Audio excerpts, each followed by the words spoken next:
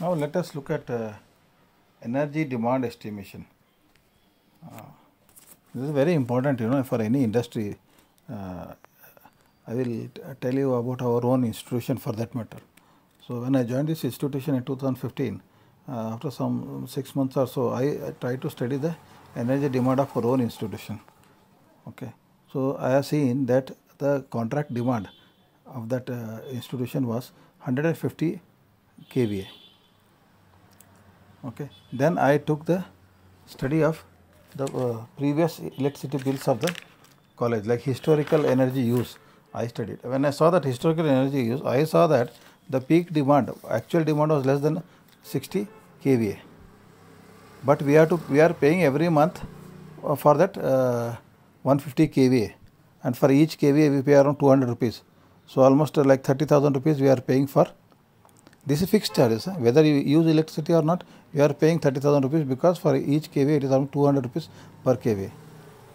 So this is a waste of amount. Then what we have done, we have reduced uh, the uh, we have requested the HESCOM, the electrical distribution company, to reduce our contract demand from 150 to 60 kVA. So almost 90 kVA we are reduced. By reducing this 90 kVA, we are able to save around 15 to 20,000 rupees per month towards fixed charges. Okay. This is one example I am just citing for energy demand estimation.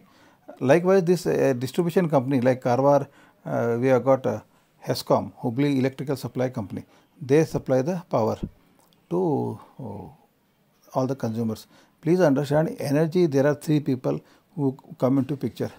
First is energy generation companies like Power Corporation, Karnataka Power Corporation or Nuclear Power Corporation. They are generating power.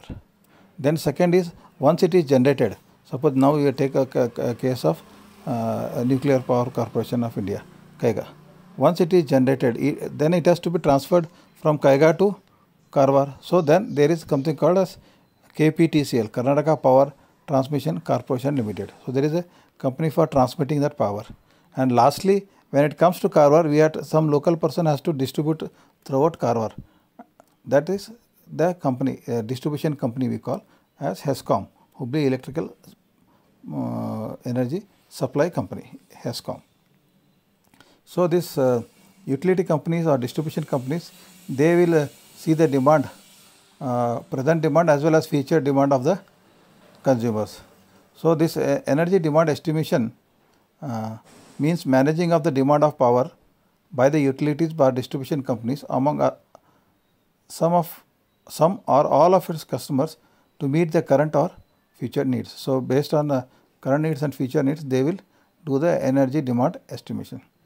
Energy demand estimation program results in energy and or demand reduction. See what happens as I gave one case, you can reduce the demand in case the uh, requirement is not there. Or in case there is other way around, if you are expanding, you require, then you can ask for additional de- uh, uh, energy demand also.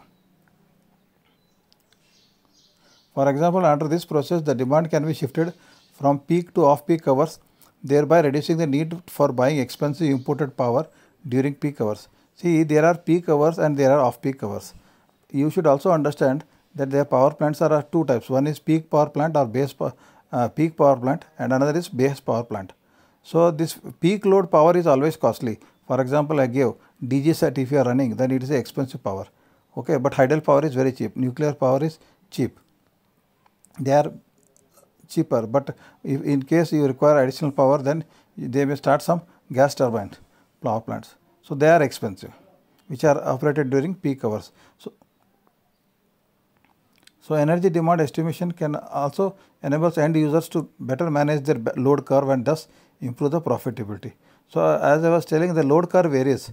Uh, you, uh, night you are sleeping right? Say some uh, 10 to morning 6 you are sleeping. So there the demand is very less. But once you get up then you start everything. You start your ac you start your uh, um, ironing clothes you start water heater okay you start your tv so then the load increases. Then at 10 o'clock you all go to the college or office. So again the demand reduces. So the, this is likely. It increases and decreases over the day. It can vary from day to day. Sundays it may be less. Working days it may be more So, potential energy saving through energy demand estimation is treated same as new additions on the supply side in megawatts. So, if you are able to uh, save energy through the energy demand estimation then it is as good as generating. See please understand to when you are consuming 1 kilowatt 1 unit of electricity in your house we require to generate 2 kilowatts then only the efficiency and uh, by the time it comes to your house it will be 1 kilowatt. So, that is as good as saving is as good as adding. 1 unit saved is equal to 2 units produced. And not only that energy demand estimation can also reduce in the capital needs for power capacity expansion. You, you are aware that everywhere there is power cuts. Why there is power cut? Because the demand is more and supply is less. That is why there is power cut. And why the supply is less? Because we don't have that much money to set up new power plants. Okay, otherwise everybody could have got uh, solar uh, photovoltaic plants in their own rooftops. They could have got some uh, mini wind generators, but they are expensive, so we are not able to afford. That is why the capital expenditure also matters a lot. Okay, thank you.